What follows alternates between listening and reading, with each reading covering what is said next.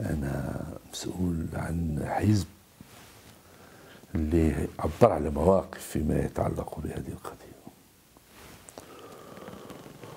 ولذلك إحنا نعتبر أن المقاطعة شكل من أشكال الحوار بين مكونات المجتمع حتى الاحتجاج. حتى عندما يخرج المواطنين في وقفة احتجاجية أو مسيرة أو كذا هي شكل من أشكال الحوار.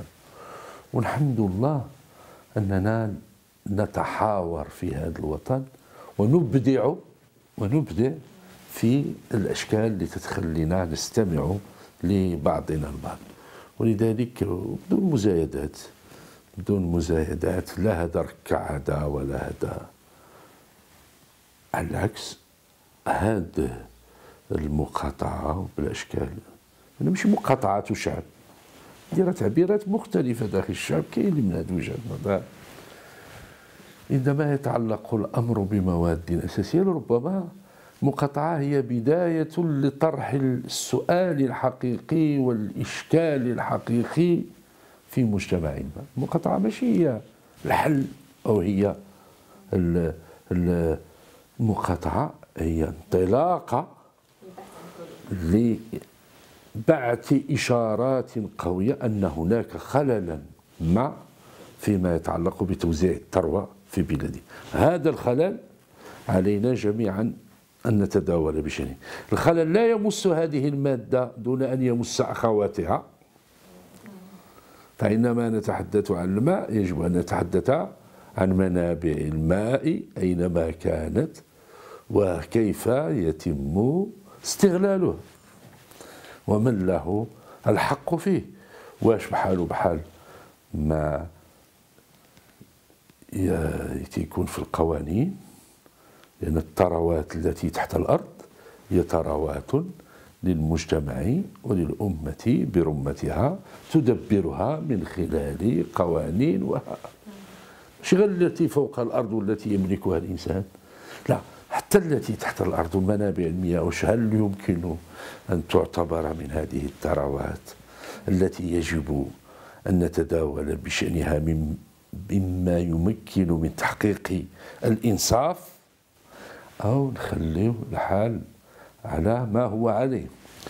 نفس الشيء بالنسبة للمنافسة والتحرير. أيوة طيب إحنا عارضنا التحرير. كان لنا رأي في الموضوع. اليوم بعد التطورات التي عرفتها القضية لا يدعو هذا.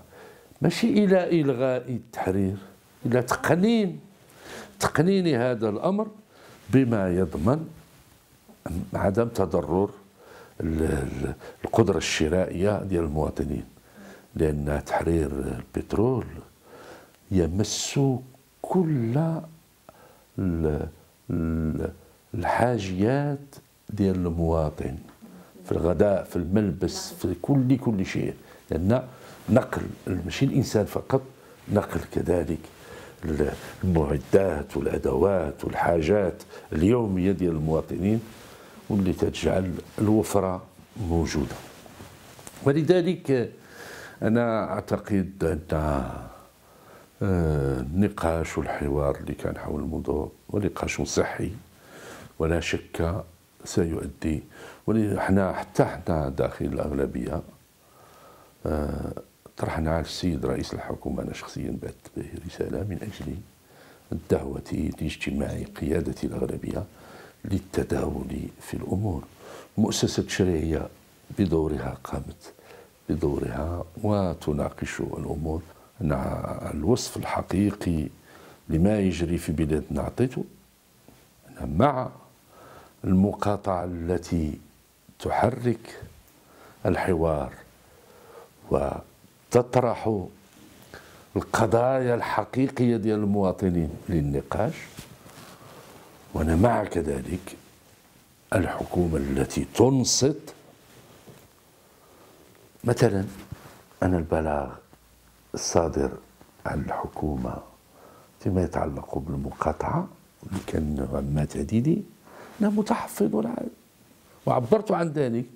أنا كنت أنا أعتقد أن البلاغ اللي خصو يصدر هو البلاغ الذي يطمئن. وهو ما تداركه رئيس الحكومة فيما سميته بالاعتذار. نعتقد آه، حنا تنبهوا بعضنا بعضا.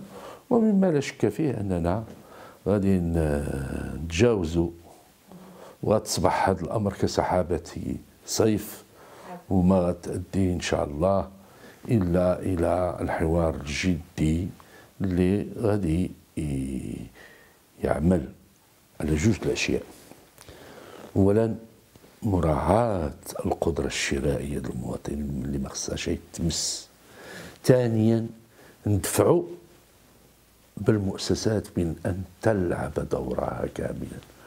في هذا الإطار مجلس المنافسة التحرك اللي خصو يدير والآليات اللي خصها تكون عنده كذا.